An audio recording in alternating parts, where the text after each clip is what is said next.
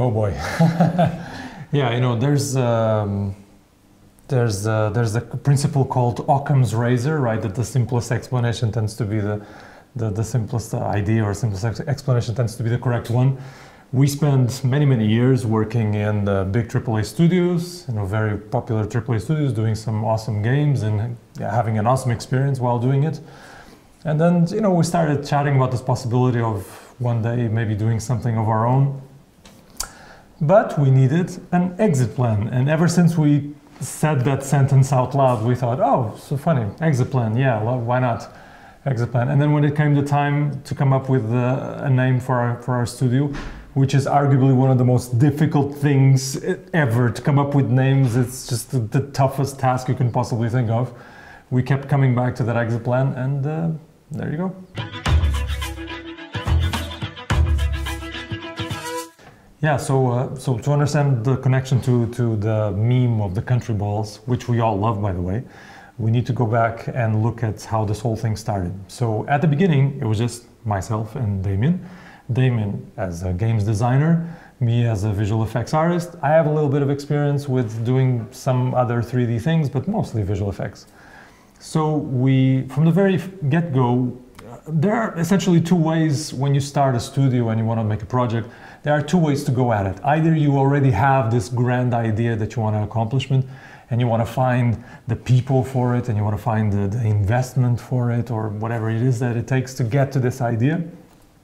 Or there's this other approach, which uh, there's kind of an expression for this, which is like uh, first who, then what. So this is the approach that we took. We look at what we had, so like the team that we had at the time it was just the two of us, and then the, the question was, which I, was, was a question that Damien made at the time, which I thought was great, was like, all right, so if it's only the two of us, if it happened to be only the two of us, what game would we be able to make? And that immediately eliminated a lot of possibilities. We're not going to make a, a story driven, like a non-linear quest open world RPG or something like we're not going to have a very kind of like very intense character development game and so on it's going to be extremely gameplay driven and it's going to have a lot of VFX. So we started playing with a couple of prototypes, uh, uh, things like uh, like for some first-person puzzle games, uh, like The Witness or something, but with yeah, a few like uh, humor elements, like Portal. I mean, again, it's some of our favorite games. Mm-hmm. And one of our prototypes that we made that we started to have most fun with was a prototype kind of mildly based on the game called Katamari, which is a very popular game from a while back. Uh, very simple premise. You roll around on a ball, things stick to the ball, you get bigger, you stick bigger things to the ball, you just keep getting bigger and, and smaller and so on. And so that's exactly what we did.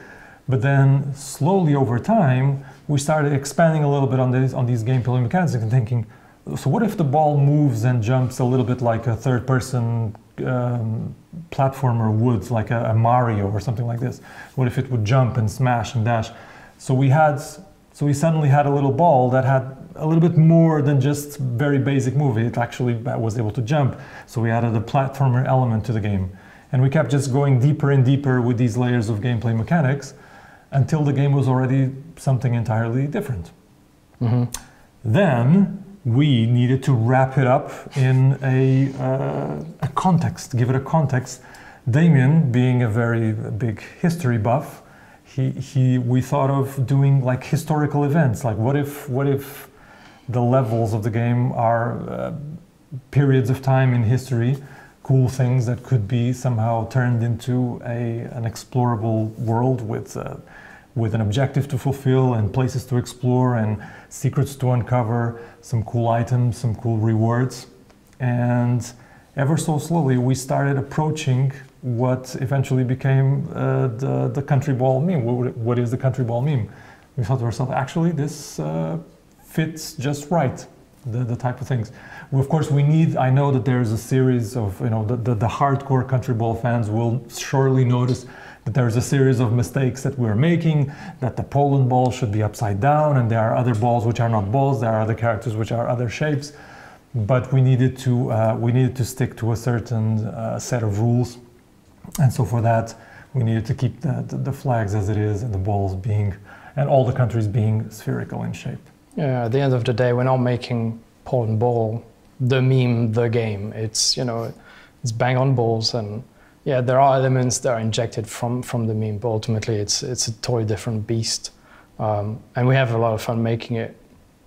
Yeah, and the, and the most important thing for us is that people who are completely unaware of the meme can still have fun, because yeah. that was extremely important for us to not be attached to the meme to that point, mm-hmm. where if you're not aware of it, then you can't understand what's going on. Oh, I remember that. I remember it because we'd spent a week writing all sorts of names on the board down there at the back, and nothing worked. Basically, if somebody came up with an idea, turned around, maybe you'd get one person saying, "Yeah, I like it," and the rest were like, "I'm not feeling it. You know, it's not. It's giving the wrong vibes." And then one evening, we really had to come up with something because eventually you do need a proper name. And we sat down, and Jose brought up the Thithoris. The Thithoris. The Thithoris, and. Uh, he said, okay, so what's cool about our game? And I said, it's just good. It's just a good game. I like it. It's good. And he goes, okay, good. And then the thing came up with a very British mm, word, which is bang on. It's bang on. And I said, bang on balls. And instantly it clicked. Everyone was like, yeah, that's, that's stupid. I like it. So bang on balls, also it's Bob. So it makes it easier for all the folders yes. and everything. and it applies very, very accurately to what you do in the game. Well, yes. yeah, of course, because you bang all the balls as well. So it, as soon as soon as we said it, it just clicked. Right. And then yeah. Chronicles, because we felt like it needed like something that was ground to compensate with the silliness of the name. We were like Chronicles, and there you go. And we really liked it. And then we decided to sleep on it. And the next day we woke up and everybody agreed we liked the name let's go with it.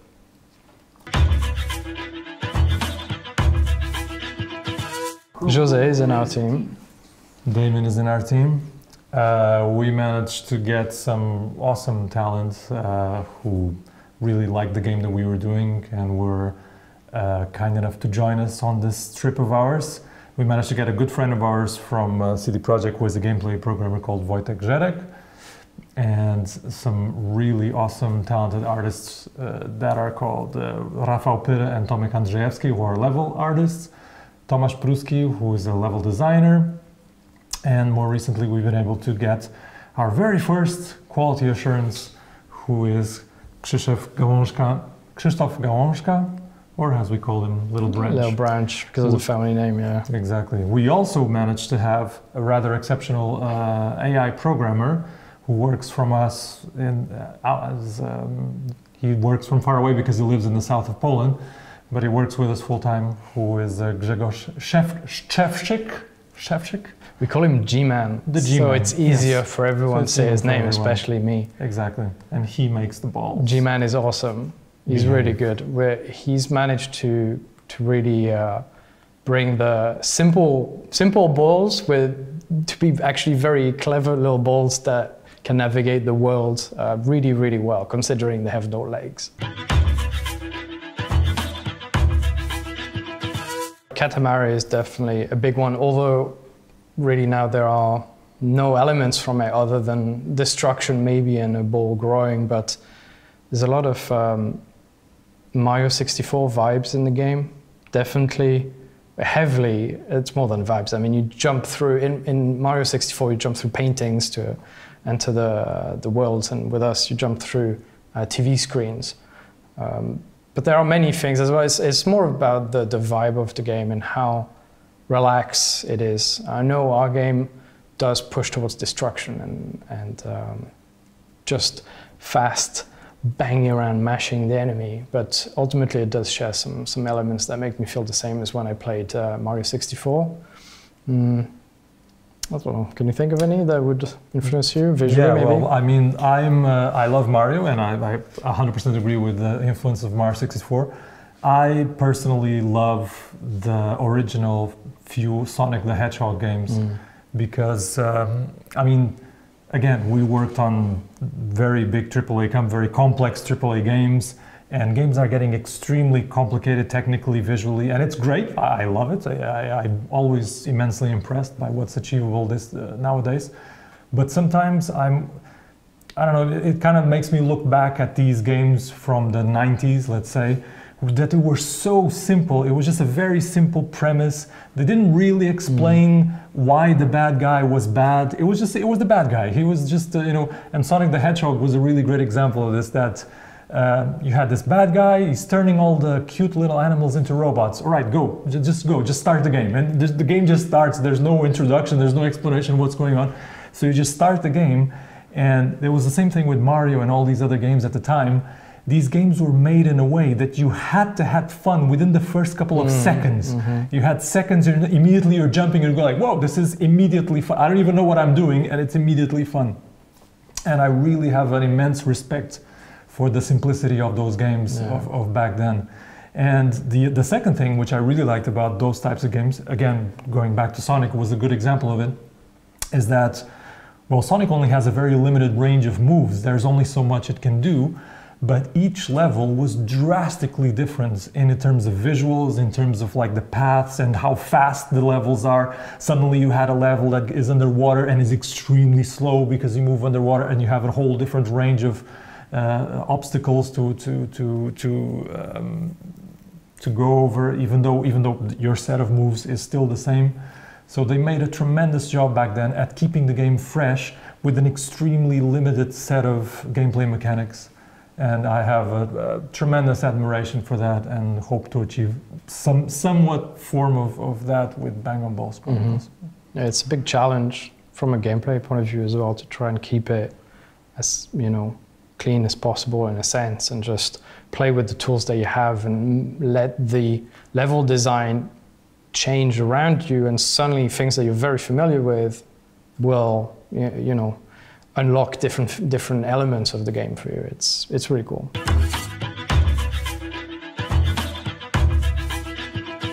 Yeah, for sure. And if there's a parent out there that's played maybe some of the most recent Lego games where their children, and again, that's another game that's really influenced us, and the, the, the, the co-op element where you work together and you can't really grief each other. And that's designed specifically also for parents to play with their children uh, or the kids can just play it by themselves. Uh, we aim for a, a PEGI 11 rating. It's just clean fun. I would definitely recommend it. I mean, you, you've you've let your your, your son play it, so I let my three-year-old play it. he says it's the game about the bees, but he loves it because he just smashes the button and it just dashes everywhere and everything breaks, and he has a lot of fun seeing it. But one of the things which I like about our game, the Bang on Balls Chronicles, of course, is that I mean, we take a lot of creative liberties with this game, but there are some elements which are kind of true. So, uh, so I'd love, I'd love to see, you know, people actually going. You know, our first level that we are releasing on early access is themed around the Viking invasion of the British Isles, but there's a lot more to it than that. So we, we, we put wherever possible a few details that uh, would be really cool for people to notice, and uh, such as, for example, the presence of Roman artifacts on those isles, which is an actual thing. Actually, I don't know if it matches the, the timing, but. Yeah, uh, a little bit. I mean, the characters are bold, so you have to take liberties. but yeah, the Roman baths, and you can explore the baths as well, but that's that's a secret right now. Yeah, there's a few things. We, t- you know, we keep it accessible to a younger audience as well. There is a Merlin Tower in there because, you know, historically speaking, it's not super accurate, but we had to do it because it was fun, and kids will dig it.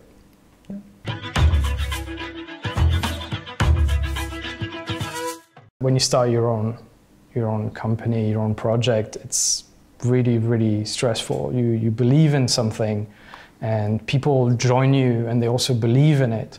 And so when we see that people out there also support us by, by buying our game or by commenting, even just a thumb up on, on a video that we post, it really does mean a lot to us. It, it means it, it kind of validates that, okay, what we're doing is at least okay. And then we'll keep on you know, driving this uh, for, for, for the people supporting us, really. Yeah. I mean, for the people who are thinking about buying, th- thank you. Thank, thank you. you. First a lot. And uh, I mean, again, it may, this is going to sound extremely cheesy, extremely kind of like a marketing sentence, but we, we really do believe that the only way to make a fun game is if we ourselves mm-hmm. have fun making mm-hmm. it. Like, there's no way that we can make a fun game if, it, if the game isn't fun to make. and this game has been exceptionally great fun to make. It's been it's a game that really doesn't take itself seriously at all. It's a game that's not trying to reinvent the wheel in a way. Uh, and it's just clean, pure fun, and we're super happy to release it to the public and for people to try it out themselves. We really, really do hope that people enjoy playing it as much as we have enjoyed making it. Okay, so the team at Exitplan consists of eight people, plus a few uh, on uh, outsource, uh, sound design, music composer, who's been doing a great job, by the way. So we have a very, very small but extremely experienced team, super creative, super just helpful. They had, you know, they drive themselves, they come up with ideas themselves, everybody has an input in the game. It's super great. But it is, you know, nevertheless, it's a small team. So I'm, I'm really impressed at what we've been able to achieve, which is a small uh, amount of people. Yeah. And uh, going forwards, we hope to grow slowly but steadily and uh, keep expanding on the team and the game. So we've been doing basically for about almost a year. It was only two of us. Then up until even six months ago, it was four of us. So um, a good chunk of the game was really made by only four people then thankfully uh, more people came in and really took took it to the next level because it's not just uh, you know the maps, but the menu is a map itself. So there's a lot of assets and so on. Um, and then as Jose said, we've got the sound team that joined in uh, little by little. So we're still a small team. We want to keep it small because it allows us to have a lot of creative freedom and also ownership. It's really very important that each person owns uh, a huge chunk of the game and is able to, to be very creative within this. Um, so yeah, please be patient. we do we do have a, a plan. We have many many cool maps and a lot of cool things coming up. Uh, we got the roadmap. We have the team, and with the support, we'll be good. Oh, I, I have. I'm a I'm a stereotypical Bob. I'll change the flag every now and then, but I'm often seen with a baguette and a croissant. Actually, the croissant is a unique item that you can only get when um, you're joining us for early access. And you'll be able to find it by finding me in the map. So when you find me, you find the croissant. So unlike Damien, I still don't have my custom-made item yet. I would like it to be a codfish, which is the Portuguese, the most famous Portuguese dish. Uh, and representing number one representing. So yeah so so you can you can if you look in the game you might be able to find me. I'm somewhere there proudly displaying the portuguese flag. And i'm also on fire which is what i tend to make to the game. So they, they made me on fire. So uh, so yeah but as soon as i get my my my, my codfish i'll feel like i'll feel complete